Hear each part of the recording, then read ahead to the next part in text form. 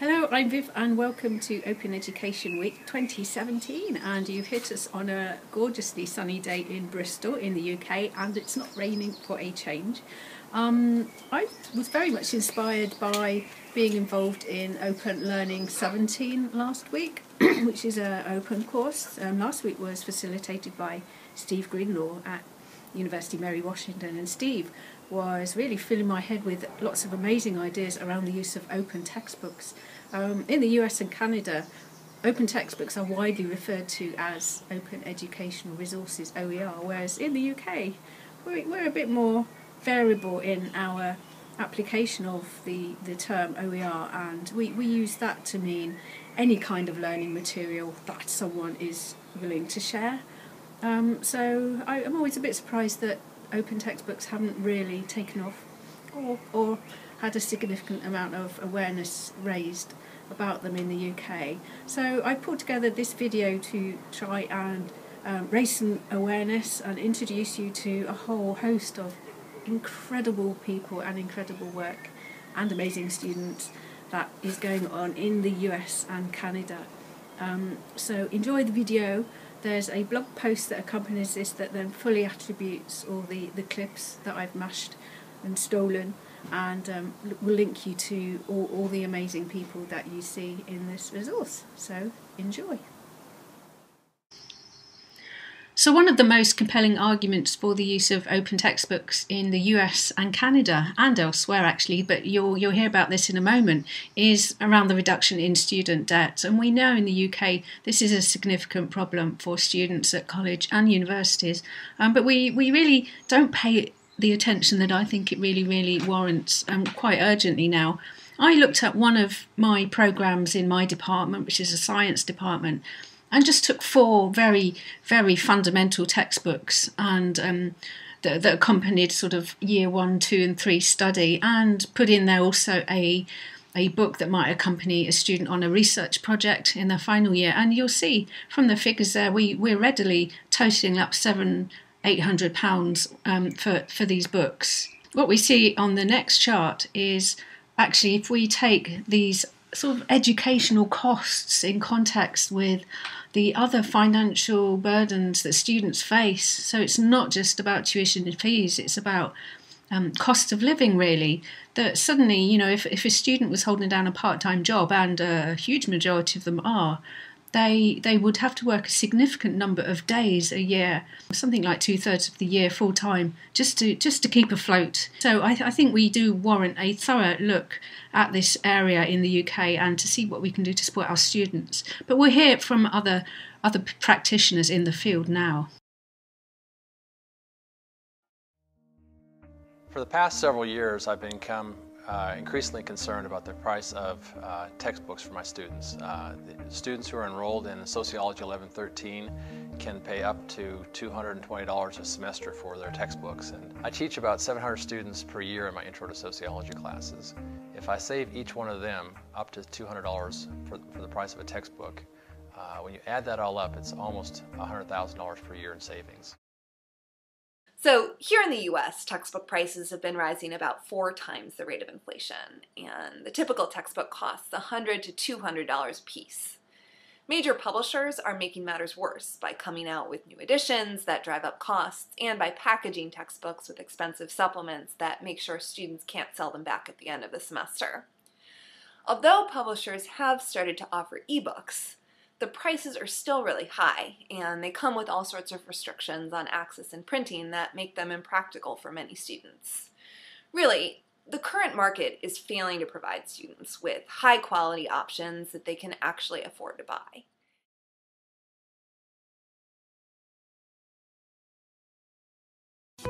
Uh, so open textbooks are textbooks that are licensed in such a way that enables them to be um, adapted by faculty who want to use them as teaching resources. So make modifications to them that make them more appropriate for the teaching and learning context. And the other big benefit of them is that they are free for students in the electronic versions of them.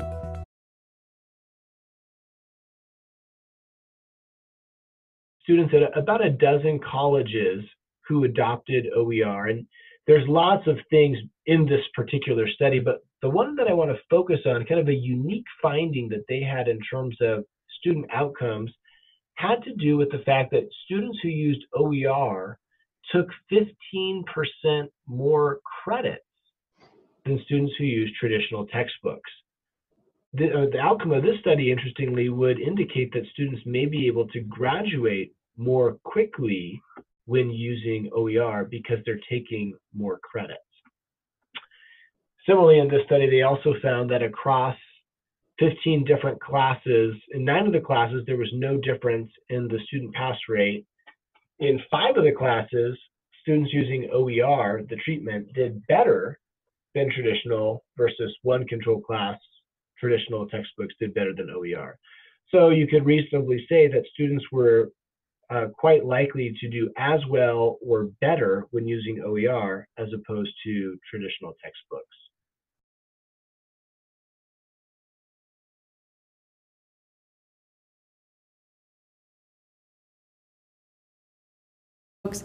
But it also enables a sense of um, sort of a community building. You're, sh you're sharing your materials. You're offering people across the institution the opportunity to share the work that they've done, but also share their knowledge, which is obviously the primary reason that we're all in education is to share knowledge.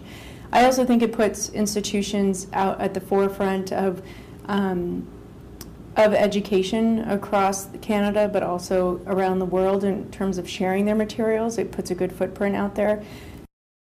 But as we go down this list, we start seeing things I think that the open textbooks can be that regular textbooks just absolutely cannot be. And I started seeing this for myself when I built an open textbook. Um, I, again, I teach literature roughly like 1400 to 1800. So all of my texts were in the public domain, and yet my students were paying basically 86 bucks a pop to buy the Heath anthology. I decided to make it a class project that we would build this textbook together. And in the process of building this replacement for the Heath anthology, I realized the true power of the OER textbook, which is that my students became contributors, um, felt super empowered by participating in creating the content that we were going to use in the class. Yeah, the fact that it was free was very nice. I know for some classes, if so for a lot of classes, you don't even know if the professor is going to use that textbook, but you usually end up having to buy it to know if they're going to use it so you can have it on hand. Otherwise, you'd be waiting for the first two weeks of classes without a textbook if they did or did not use it. So it was really nice just to have an easy, easily accessible free copy of a book. And even if like even if a professor wasn't going to use it as much, you hadn't paid anything for it, but you still had that resource at your disposal certainly the, the, the most obvious one is awareness. Um, and I think raising awareness is, is ongoing. It's a challenge. I think the word is spreading. It's easier to create cultures within institutions, but there's no marketing campaign. There are no sales reps for open educational resources, and that's a, a big, big challenge.